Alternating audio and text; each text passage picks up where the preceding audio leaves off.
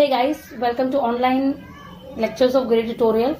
See, in the last session, we are done with principles of scientific management. There we have seen the Taylor approach towards management is termed as scientific management. He is known as father of scientific management.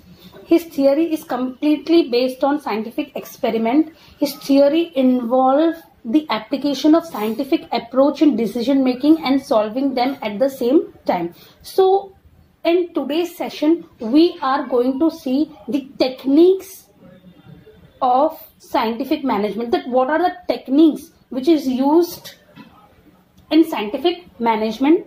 Now let's start with techniques of scientific management. The first one is work study.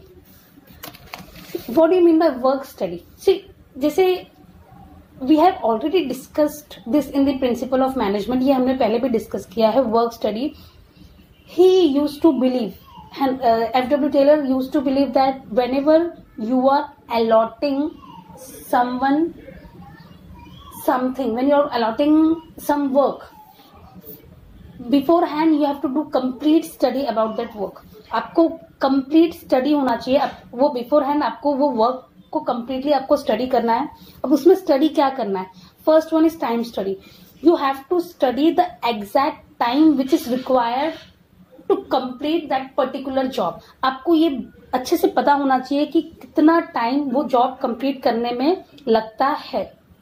Next is method study आपको idea होना चाहिए कि which is the best method to complete the job अभी काम करने के लिए बहुत सारे ऑप्शन अवेलेबल होते हैं। काम करने के लिए बहुत सारी, बहुत सारे मेथड्स होते हैं। बट उन सारे मेथड्स में से कौन सा मेथड उस जॉब को कंप्लीट करने में सबसे बेस्ट रहेगा, जिससे ज़्यादा एफिशिएंसी रहेगी तो आपको वो मेथड सेलेक्ट करना है।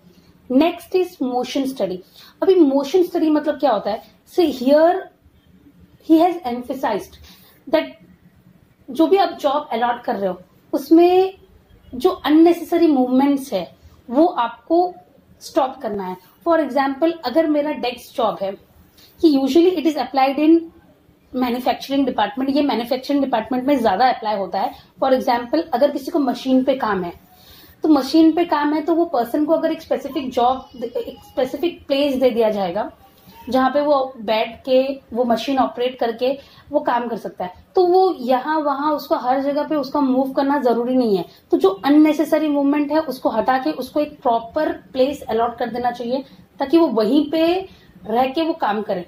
तो मोशन स्टडी में आपको स्पेसिफिकली आपको देखना है कि जो अननेसेसरी मूवमेंट है, जो अननेसेसरी मोशन है, आपको उसको स्टॉप करना है। मतलब वो काम करने के लिए क्या बेस्ट तरीका है? एंड जो चीज़ें रिक्वायर्ड नहीं है, आपको उसको बिल्कुल भी वो चीज़ को बिल्कुल भी इंक्लूड नहीं करना है, उसको हटा देना है। Next is fatigue study fatigue मतलब क्या होता है? सिर्फ़ काम करते करते पर्सन गेट टायर्ड और सेचुरेशन पॉइंट आ जाता है, वो बहुत थक जाता है। तो जब वो थक जाएगा एंड फेटिक हो मतलब फेटिक मतलब वो टायर्ड होना इज़ डिफरेंट थिंग फेटिक मतलब जैसे आउट ऑफ़ बोर्डम जैसे बोर हो जाता है कोई। मतलब अभी सेचुरेशन पॉइंट है, अब वो काम और नहीं कर सकता। तो आप लोगों को देखना है कि वो काम, वो जो, वो फेटिक सिचुएशन नहीं आना चाहिए। अगर वो आता है तो आपको एम्प्लॉयज़ को उससे आपके जो वर्कर्स है एम्प्लॉयज़ है, आपको उसको उससे बाहर निकालने के लिए आपके पास कोई सोल्यूशन होना चाहिए। मतलब वो फेटिक जो सिचुएशन है, वो आपके वो काम में बिल्कुल भी नहीं आना चाहिए बिकॉज़ जब फेटिक हो जाता है तो जब जब इंसान टायर्ड हो जा टायर्ड हो जाता है मेंटली मेंटली अगर वो टायर्ड हो गया तो फिर वो काम एकदम अच्छे से कंप्लीट नहीं होता है, फिर उसमें बहुत सारे मिस्टेक्स निकलने लगते हैं। तो यहाँ पे आपको फेटिक स्टडी करनी है कि वो काम कंप्लीट करने में क्या प्रॉब्लम अगर कोई फेटिक सिचुएशन कब आता है तो आपको उस तो उसको, वो पर्सन को प्रॉपर ब्रेक देना चाहिए, ताकि वो फेटिक सिचुएशन ना आए। Now we have seen the first point that is work study काम अलॉट करने से पहले जो भी आपको जॉब अलॉट करना है, जो काम है, उसको कम्प्लीटली आपको स्टडी करना है। वो काम कंप्लीट करने में कितना टाइम लगेगा? That is time study which is the best method to complete the job that is method study motion जो अननेसेसरी मूवमेंट्स है, आपको वो निकालना है कि वो काम कंप्लीट करने के लिए क्या क्या मोशन रिक्वायर्ड है एंड जो अननेसेसरी मूवमेंट है, उसको आपको हटा देना है। Last one is fatigue study कि वो काम करते करते कौन सा पॉइंट पे पर्सन गेट टायर्ड जो फेटिक सिचुएशन आता है तो आपको उसको कम करने के लिए आपको वो पर्सन को प्रॉपर ब्रेक देना चाहिए एम्प्लॉयज़ को ब्रेक देना चाहिए। तो ये पहला जो टेक्निक है that is work study see next point is standardization of tools and equipment अब standardization of tools and equipment कौन से टूल्स है इक्विपमेंट है जो जॉब कंप्लीट करने के लिए यूजफुल है? The best tool and equipment you should provide that so that the work should be completed in a best possible manner वो आपको standard tools and equipment provide करना है ताकि आपका जो काम है वो बहुत बेहतरीन तरीके से कंप्लीट हो। See standard standardize standardization of tools and equipment मतलब आपको बेस्ट टूल्स एंड इक्विपमेंट आपको यूज़ करना है, जिससे काम बहुत अच्छा होगा। अभी बहुत सारे ऑप्शंस रहते हैं बट उसमें से जो बेस्ट इक्विपमेंट्स है टूल्स है, जिससे आपका काम बहुत अच्छी तरीके से कंप्लीट होगा, वो आपको आपके पर्टिकुलर जॉब के लिए सेलेक्ट करना है। Next point is scientific task setting scientific task setting means that you have to fix a fair day work आपको एक दिन में, आज के दिन में आपको क्या काम कंप्लीट करना है, वो आपको साइंटिफिकली आपको वो फिक्स करना है। साइंटिफिकली फिक्स करने का मतलब है, जैसे हमने पहले भी डिस्कस किया है कि आपको पता होना चाहिए कि ये जॉब कंप्लीट करने में कितना टाइम लगता है। तो ये एक फेयर डे में फेयर जॉब आपको फिक्स करना है so so that the day doesn't get wasted and जो आपके एम्प्लॉयज़ है, वो लोग अंडर यूटिलाइज ना रहे मतलब आपके एम्प्लॉयज़ जो है, वो अंडर परफॉर्म ना करे। तो ये बेस्ट तरीका है साइंटिफिक टास्क सेटिंग मतलब in a particular day how much work should be completed it should be decided in advance so that your resources should not get wasted and day should not get wasted under performance company में नहीं होना चाहिए। इसके लिए ये ज़रूरी है task setting next is scientific selection and training see scientific selection and training आप जब भी एम्प्लॉयज़ को आप हायर कर रहे हो तो आपको at the time of appointment at the time of hiring them you should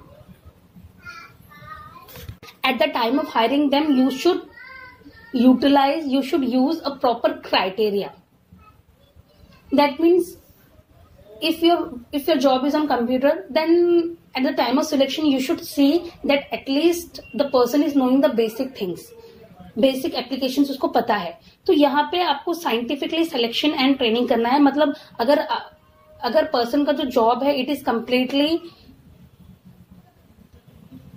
back office job है तो आपको उसमें एम्प्लॉय का जो है वो, उसकी वॉइस क्वालिटी आपको देखनी है। अगर पर्सन का, अगर आपका जो जो जॉब है पोजीशन है, उसमें एक पर्सन चाहिए जो कंप्यूटर लिटरेट हो तो at least you should see that the person have basic knowledge of computers so यहाँ पे डब्ल्यू टेलर ने जो टेक्निक दी है, उसमें आपको एम्प्लॉयज़ को हायर करते वक्त you have to keep this thing in the mind कि आपको एम्प्लॉयज़ को एज पर द जॉब आपको सेलेक्ट करना है। मतलब जॉब के हिसाब से आपको एम्प्लॉय को सिलेक्ट करना है। And after that you have to provide him training so that उसका जो स्किल्स है वो इम्प्रूव हो एंड वो आपकी कंपनी के लिए बहुत ज़्यादा हेल्पफुल आपकी कंपनी में वो बहुत ज़्यादा कॉन्ट्रीब्यूट अच्छे तरीके से कर पाए। Now next point is functional organization अब फंक्शनल ऑर्गेनाइजेशन मतलब कंपनी में किस तरह से काम होगा? तो यहाँ पे ये लोग ने क्या किया है ये टेक्निक के हिसाब से जो काम है उसको डिवाइड कर दिया है।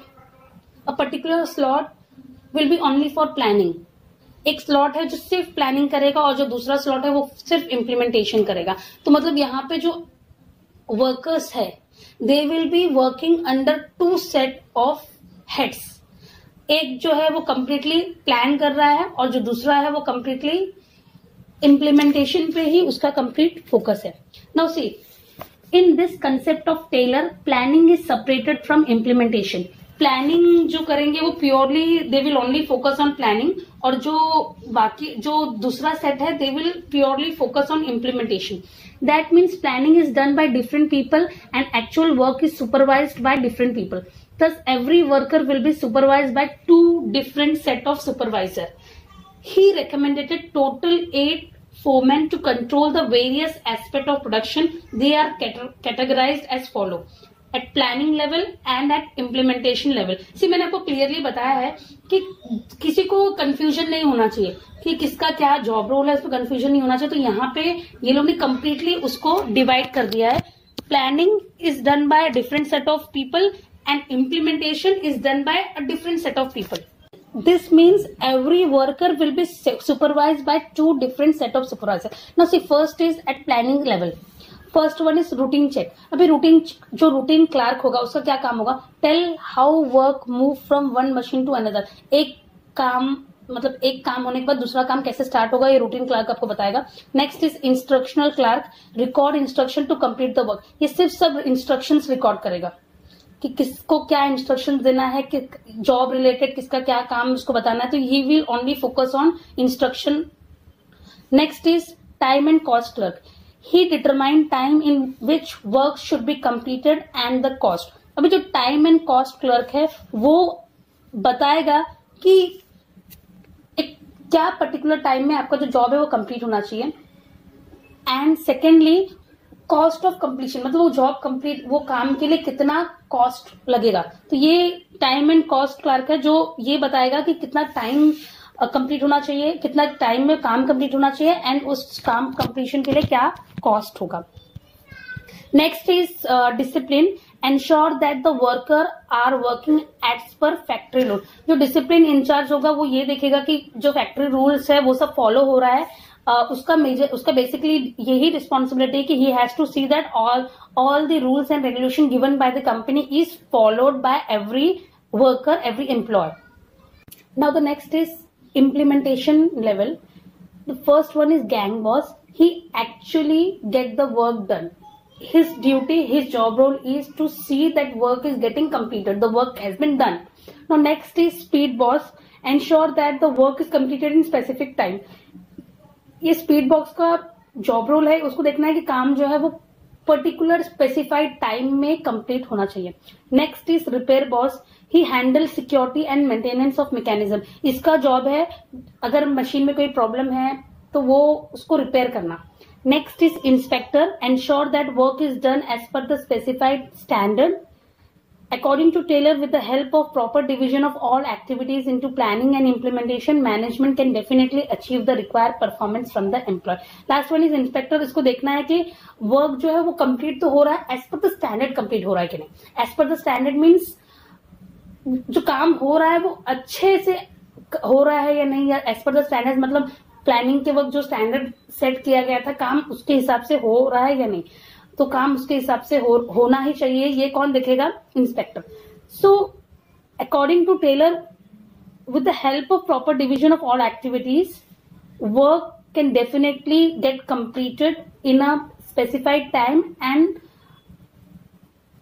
the work will be completed in the best manner जो काम है वो स्पेसिफाइड टाइम लिमिट में कंप्लीट भी होगा एंड जो परफॉर्मेंस है एम्प्लॉय का वो भी बेस्ट होगा और जो जो आउटपुट है वो बहुत अच्छा आएगा। ये ये टेक्निक्स फॉलो करने से। The last point is differential piece rate of plan अभी लास्ट पॉइंट का मतलब है कि every employee every worker should be paid according to the job आपको सबके जॉब के हिसाब से आपको पे करना है किसका जॉब कितना इंपॉर्टेंट है एंड uh, किसका जॉब बहुत डिफ़िकल्ट है तो you should have different piece rate of plan for every employee and worker अभी अगर आप सबको इक्वली पे कर रहे हो तो अगर किसी का जॉब बहुत ज़्यादा डिफ़िकल्ट है तो बहुत डिमोटिवेट होगा कि मेरा जॉब मेरा मेरा जॉब रोल बहुत इंपॉर्टेंट है बहुत डिफ़िकल्ट है and still I am getting the same salary as like the other employee other worker तो यहाँ पे according to this principle according to this technique जैसे कि uh, ये साइंटिफिक प्रिंसिपल्स है तो उसमें टेक्निक भी वैसे ही यूज़ हो रही है. According to this technique there should be differenti differential piece rate of plan for every employee every worker according to their work according to their job role and according to their duty जिसका काम जितना important है उसके हिसाब से उसको salary उसको wages उसके हिसाब से ही मिलनी चाहिए with this we are done with all six technique let's have a recapitulation first one is work study आपको काम देने से पहले आपको कम्प्लीटली स्टडी करना है कि वो काम को कंप्लीट करने में कितना टाइम लगने वाला है, कौन सा मेथड बेस्ट होगा वो काम को कंप्लीट करने के लिए। मोशन स्टडी आपको करनी है कि जो अननेसेसरी मूवमेंट है, जो चीज़ें नहीं रिक्वायर्ड है, उसको आपको स्क्रैप करना है, उसको वहाँ से निकाल देना है। फेटिक स्टडी किस पर्टिकुलर पॉइंट के बाद सेचुरेशन पॉइंट आता है, किस पर्टिकुलर पॉइंट के बाद फेटिक हो जाता है। मतलब काम आगे पॉसिबल नहीं है तो आपको ब्रेक आपको प्रॉपर ब्रेक देना है वर्कर को ताकि ये वर्कर्स एम्प्लॉयज़ को ताकि ये सिचुएशन ना आए। Next is standardization of tools and equipment best tools and equipment आपको यूज़ करना है ताकि आपका जो रिसोर्सेस है वो बिल्कुल भी वेस्टेज ना हो, आपका काम सही समय पे and in the best possible manner complete हो। Next is scientific task setting task setting means you have to fix job for a fair job for a day आपको एक दिन का फेयर जॉब आपको फिक्स करना है ताकि ताकि आपके एम्प्लॉयज़ का अंडर परफॉर्म अंडर परफॉर्मेंस ना रहे उनका।